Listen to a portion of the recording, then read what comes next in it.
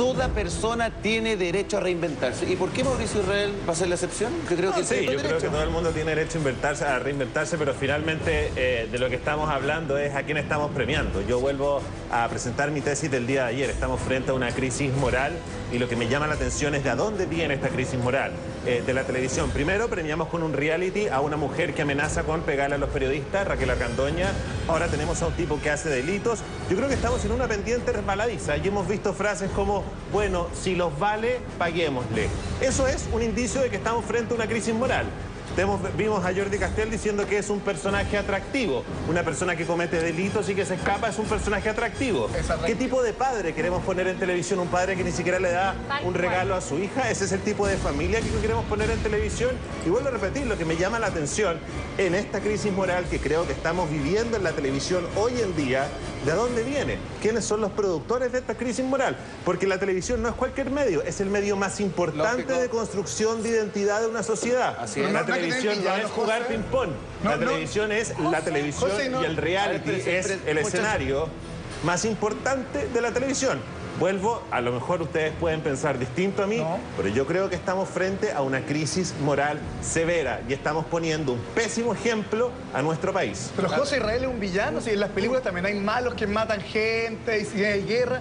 Israel en este caso está jugando el papel del villano que Israel entonces. Cabros buenos y cabros malos. y quizás, quizás tener a Israel ahí, como hay un estandarte de la maldad o del delito, nos ayuda también a apreciar a la gente que no es así y lo usemos efectivamente como un antagonista de otros buenos personajes del reality. A mí me gusta. Porque también si tuviéramos pura gente pero, buena, pero, pura gente que nunca le ha hecho daño a nadie, que no ha pisado una hormiga, que no le debe plata a nadie, puros bonachones. Pero, pero, pero, pero, Daniel, pero no, es justamente tu argumento habla de que hay una crisis moral, de que lo que queremos ver en televisión es morbo.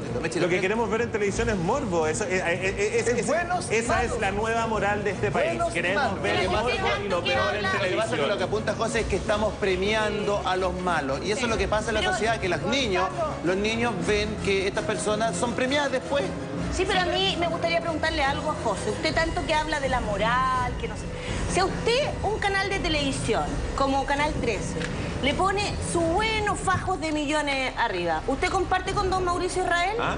¿Usted, si usted comparte con don Mauricio? formaría parte de la crisis moral? ¿Sí? Lógicamente formaría parte. pero espérate, pero no. Pero, ejemplo, no, no. Es que espérate, pero es que él no cometió delito. A él lo están premiando. Espérate, Gonzalo, yo creo que estamos hablando de un tema que nos estamos yendo un poco del foco. Yo creo que lo más importante, yo ayer hablé con Marisol Galvez, la pollito para los más amigos, que es la ex de Mauricio.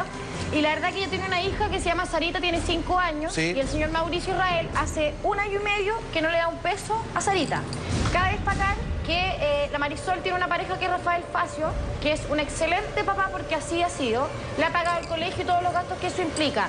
Si un personaje, yo no soy quien para hablar de moral, por supuesto, obviamente tengo tejado de vidrio, pero sí considero que en el tema de tutela de los niños y en términos de, de pensión de niños, uno tiene que ponerse.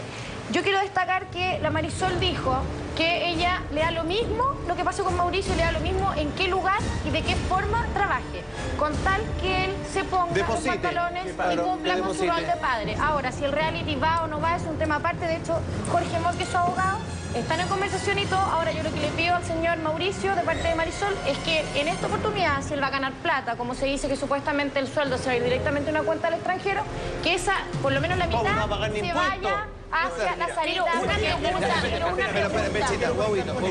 Yo quiero conectar con eso porque yo no tengo por qué dudar de lo que dice Marisol Galvez. Marisol vino acá al panel en muchas ocasiones. La conozco, de verdad creo que es una tipa súper honesta, pero ayer también me comuniqué con Mauricio Israel, que creo que falta la otra parte de la historia.